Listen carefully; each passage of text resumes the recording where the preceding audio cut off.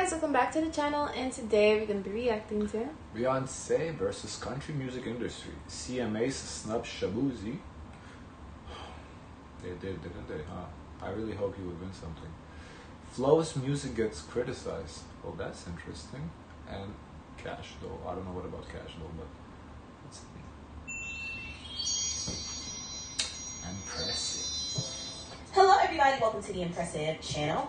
Now, I want to talk about this. I normally don't talk about the Country Music Awards, but there has been a lot of chatter around it because the artist Shaboozey was snubbed. Now, he was nominated for Best New Artist, and also his single bar song Tipsy was nominated for Single of the Year. And this song has been number one. Hard for me to comment in co- like in terms of country because not exactly. It Was he nominated or not nominated? No, I think he was nominated. He just didn't win. So Oh, they already said if, if they win or not? I, I thought you received so. nominations. Well, let me see when CMA's was. But anyway, uh, I was saying hard for me to like say, you know, oh he deserved it. I don't listen to. I can't What the say. numbers say? But based on the streams, he just extended his stream to I believe tie uh, Lil Nas X for most number one ever. Just that in itself, there's no other country song more popular than this, so I feel like that should have been enough. One on the charts for like 18 weeks. Yeah, it was last night actually. Oh, why Mm. why we don't react to nothing then? Uh oh. Hmm. Yeah. So I think at this point it's on the pace to actually tie in with Lil Nas X on Old Town Road, and it might I think not on the pace. I believe he has tied it, if I'm not mistaken. Pass it eventually. But yeah, it's one of the longest running number one hits in Billboard history. And the fact that he lost was pretty messed up. I mean, the Yeah. snub seemed pretty intentional So as one- well, and people were calling out the CMAs over it. They weren't happy at the fact that he got snubbed. They weren't. But I'm gonna tell you why he was snubbed. Obviously, Ra- You want to react to the awards? Yeah, of course. I Can we say love to. anything about it though? Do we don't have we don't know I enough. mean, do we know the the category who's in the, each categories? It's not really our genre to really say anything about it. Um, Based on because we listen to the like we watch the numbers, we know the streams. entertainer, album, single, Why not? song. Yeah, but we don't know the songs. What new new artist? Male vocalist. I think we should react to the major categories that we do know. All I know, you can't be Pablo if you're working selling. I, I, let's, let's not react to, but I will tell you who won. So, Oh, I guess. uh, so single, Chris Stapleton, White Horse. I. I remember when we were looking at like uh, some like um, iconic songs and artists that made charts. Chris Stapleton was on there too. I remember seeing his name, I remember the name, but White. but I don't know the song. you know who else was there and Who who didn't there? win? I had some help. Really? Post Malone Yeah, and he didn't win. with uh, Morgan Wallen. Yeah.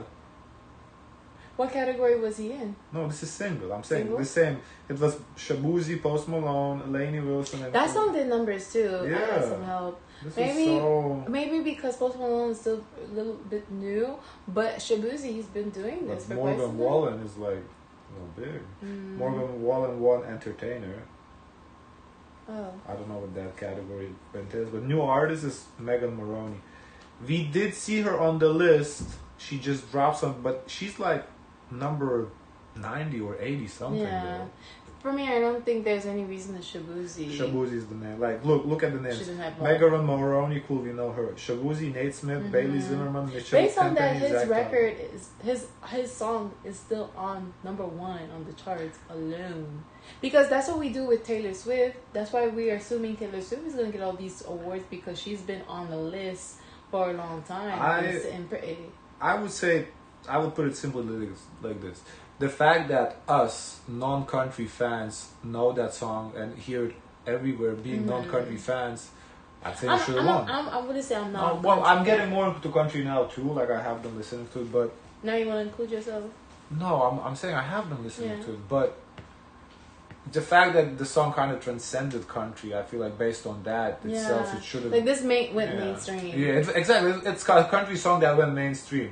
It should have won based Maybe they don't like that. They like it keep it more, you know, in house. Don't you think? Let me see who else won other awards. Because you, I would think, okay, did Morgan Wallen get an award? He won. Like, He won the entertainer. I don't know what that means. I don't know either. Yeah, not that many awards honestly, Mm. but yeah, Because if it's Mm. like, oh, okay, let's keep it classical country, not into too much of the mainstream. Some I people don't like to break, you know, you know, the that- norm, the status quo. that would explain why uh, Post Malone didn't win nothing either. Yeah, they'll be breaking status status quo. I mean, you have a point if that's what they want to do, I guess, Mhm. but you know. race does play a factor, and people can deny it all they want to, but it does play a factor. And not only that, I think he got snubbed because he took up for Beyonce. Now, Oh. Beyonce wasn't nominated at the CMAs at all, and that was a big conversation piece too because her album Cowboy Carter was one of the highest selling country albums of the year, and she had a number one hit called Texas Hold'em. But that's the thing, though. When we were saying something about, like, I think maybe the Grammys, uh, when we talked about Beyonce and country, some of you said it's not even a country album, it only has like three country songs. Mm. So it's like, is it country or is it not country, you know? So even though I wasn't Like, I feel you, you can be when you want pop album and then you I think she even country. says it's a Beyonce album, not a country So album. if it's not a country album, then you can't really be mad at country awards that they don't nominate not a country album. Like you can't, you just can't have it both. You got to pick one.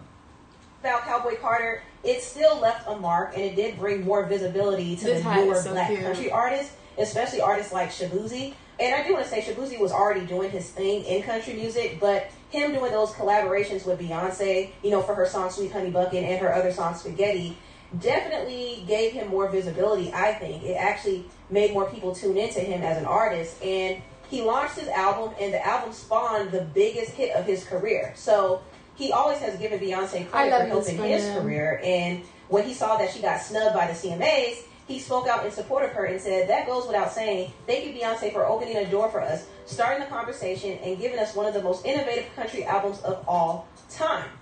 Now, I'm going to be honest, I think him speaking out in support of Beyonce is probably another reason why he was snubbed by the CMAs, too.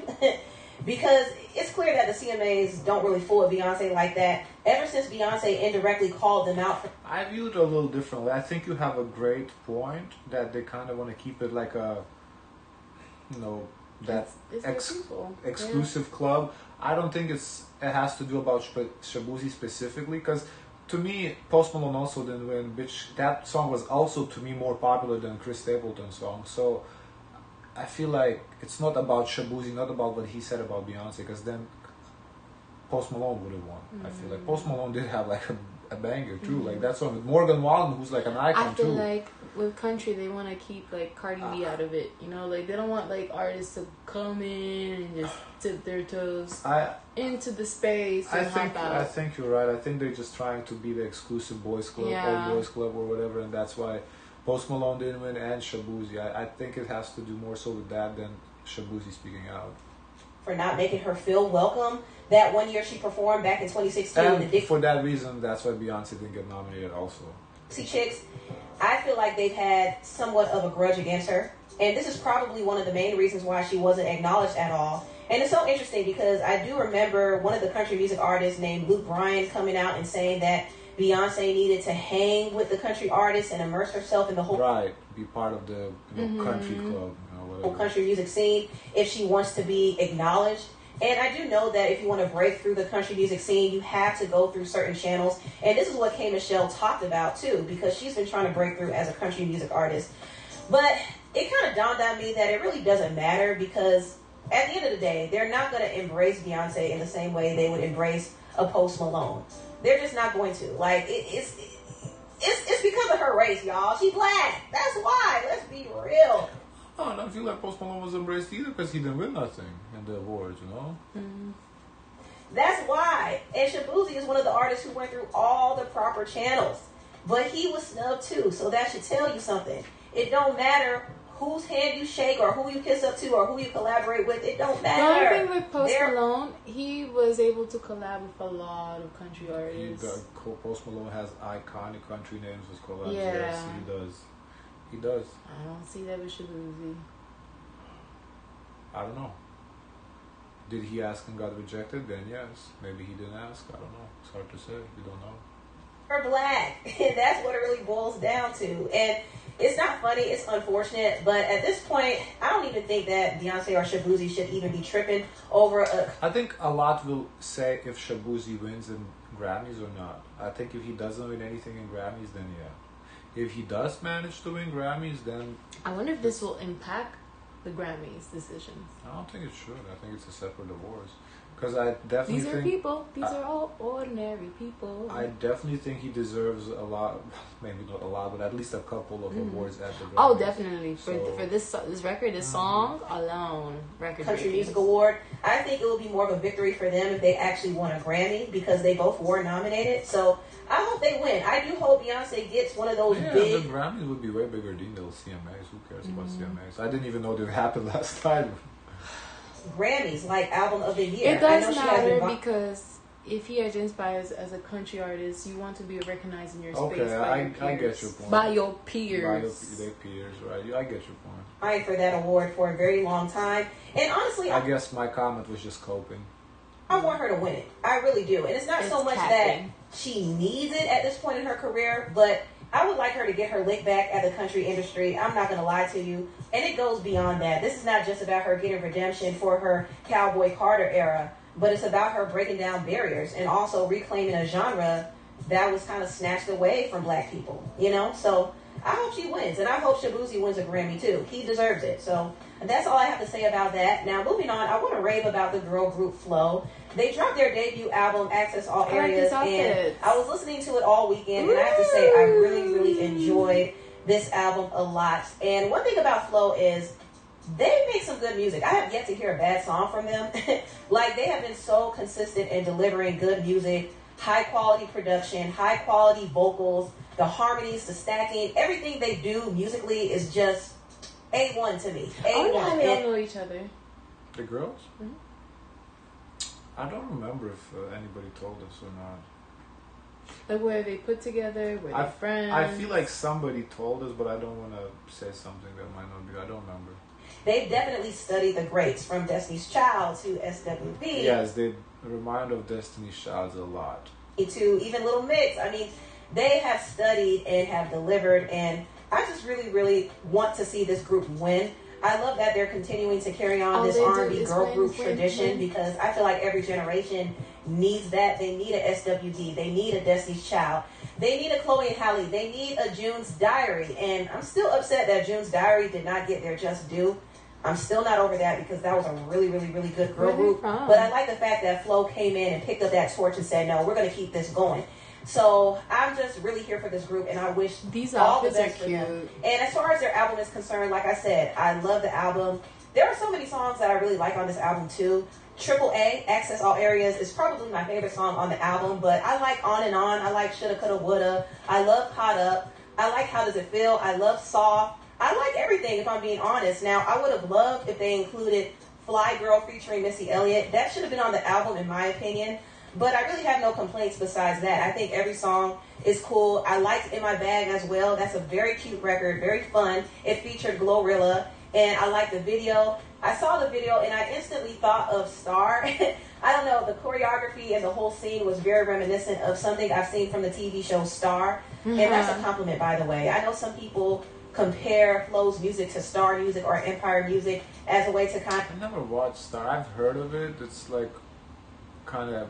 I feel like it's Empire, but with pop music more so. Mhm. So I never watched it, but clown them or call them corny, which is so weird to me. If you listen to Flo's music, it's really more reminiscent of Y2K R&B. That's where they get a lot of their references from, and I love their sound. Honestly, I think it's yeah, I feel like we've been saying in our reactions. Yeah. It's basically Destiny's Child. That's the closest thing to me. great. I think it's a breath of fresh air. And I'll tell you one thing: if any of these pop girlies or these K-pop girlies were to make the music that Flo makes, people would be eating it up. Trust and believe. If Blackpink were to drop a song called "In My Bag," or if Sabrina Carpenter or any of these other pop girls were to drop a song similar to that, it would be a hit. So She has a point. I do think if Blackpink dropped a song like that, because all her songs, their songs are good. Like it's that mm-hmm. classic Destiny Child R&B song, you know. So I definitely th- feel like if Blackpink switched up into R&B and dropped it, people would eat it up. well, it's kind of weird to me how people are trying to criticize Flo for making music like that. But it's to be expected. Anytime black women are doing something big, they're going to be nitpicked. So I just think Flo needs to tune out all the noise and the hate and continue doing what they're doing because it's working. Now, lastly, I want to talk about the artist Kash Doll because she released her album, The Last Doll. The Last Doll. And I have to be honest, I like this album too. I really do. And I've always liked Kash Doll. I honestly think that she's underrated. She could actually rap. She actually gives range when it comes to her subject matter because I do feel like a lot of the other rap She's girls pretty talk good. I don't. Have you reacted to her? No, she's been like she hasn't put out music in a long time. About sex a lot, and a lot of their subject matter is just really empty. But But with she Kash actually she actually gave range, especially on this album. She dedicated a few of her songs to her children. She talked about her relationship. You know, she talked about being a boss, talking about having standards. And she had some fun music. She had some turn up music. I mean, it was a cool album. I liked it. And my favorite song on the album is Nothing New. I've had that song on repeat, literally. I love it, love it, love it. And her album overall is empowering, relatable, fun, hood, but classy album. And I would say the one critique I do have for Kash Doll's music is I wish she had better production. I think if she had stronger production, it would take her music to the next level because I do think her sound is slightly dated. It's not bad, but it could be a little more modern in my opinion. But I think the dated. I feel like maybe she's going for that. If her Old school. audience, yeah, if like I grew up listening to 2000s, so somebody drops a 2000s album, which honestly I was listening to J Cole's mixtape today that he dropped yesterday. That shit is throw this throwback. Like that shit is mm. hot. So for me, it's ooh, fire, but I feel like for the young kids, they might be like, and you know, dated. It does mm. sound like from back then, but for me, it throws me back. I like it, you know. So I think if her audience is like people in their, you know, 30s, 40s, and she dropped an album for them, then it's not really dated. That's just her audience. She's not going for the teenagers, you know. Mm. Because even if her subject matter is her kids, teenagers can relate to that. So it might just be that. overall, I think Kash Doll just has it, and it just sucks that she's underrated. And I kind of feel like you know she kind of missed her wave a little bit because she was stuck in a bad contract for years. So when she had the moment to strike the iron when it was hot, she couldn't, and people kind of moved past her. But honestly, I think she's one of the more underrated female rappers out there. I do. But anyway, tell what you all think about this video down below. Please like, Alrighty. Okay, guys, of course, let us know your thoughts. Don't forget to like, comment, and subscribe. Join the Discord, and as always, always, always, share as much kindness as possible.